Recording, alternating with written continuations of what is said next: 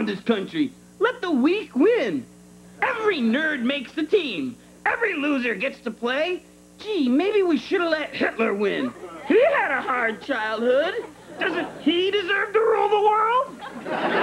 Jack, there's a conspiracy going on out there. Evil people are trying to destroy our great country. I'm not mentioning any names, but they're iced mocha, cappuccino drinking, pate eating, J. Crew wearing, Beamer driving, friends watching, sushi tasting, scented candle burning yuppies.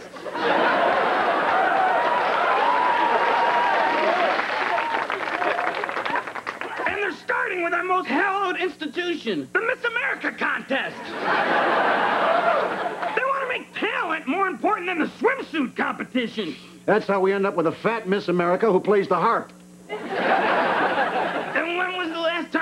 A Miss Universe contest?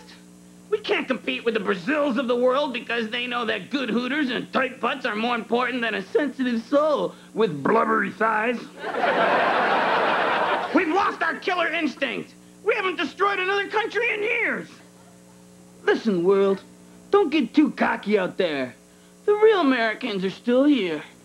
And one day, we're gonna wake up from our drunken stupor and realize we've got a fat, ugly Miss America and say, what the hell happened here? and on that day, we'll grab our guns and swig one more beer and kill and kill and kill until this is the great country it once was. USA! USA!